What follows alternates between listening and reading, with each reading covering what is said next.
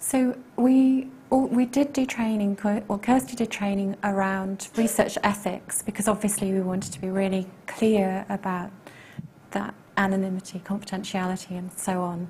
So there was some training there before people were interviewing, and I guess there was training, if you like, in the discussions of how you ask an interview question and um, you know, there were a lot of leading questions to begin with and those sorts of things. So there was training in that sense. But I think when it came to the analysis, we wanted to um, trust in their lived experience and we wanted to not sort of create mini me. We didn't want to say this is, this is how you do it. We just wanted to let that emerge. So I think that I think it's I'm really conflicted about it because I think in a way people should have access to knowledge, da, da, da, but equally, what's the point if we're, if we're not going to let people breathe and, and bring their lived experience to the, to the project, if we're going to constantly funnel them down in particular ways.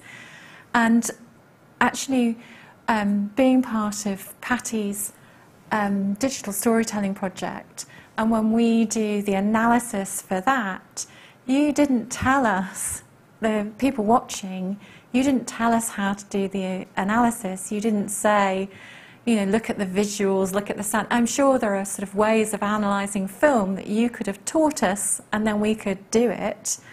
But actually, what happens uh, in those analysis workshops, I felt were really rich because people were were just speaking from their lived experience and doing something different from that. So, I think at some points in the research process, you need obviously to do the training. Although also you need to do the training in different ways. So, for example, in the school that we're working with, the training on ethics is an assault course in the hall. So they've created an ethics assault course. So they're going around to try and learn it, you know, learn the ethical process. And they've their data analysis. Um, they're doing lots of things in 3D to try and, and you know give make concrete some of these complex ideas and so on. So even if there's training, it isn't necessarily like university research training that you would need. You know, training needs to reflect the communities that you're working with too.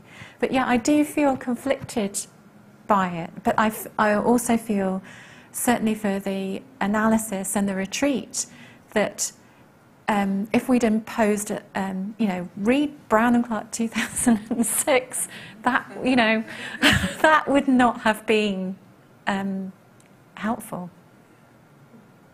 Much as that is a helpful paper.